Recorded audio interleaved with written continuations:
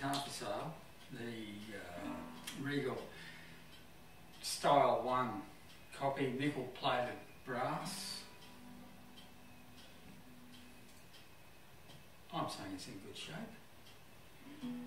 And by way of demonstrating what it sounds like, I'll do this little clip. I have, uh, it's, look, it's a, it's a not a very flash camera there an Olympus, uh, OM-D, uh, and it's the audio is simply uh, a, a Rode microphone plugged into that, the video mic. The strings on this are, they're not new. Um, they are straight up 13 to 56 phosphor bronze.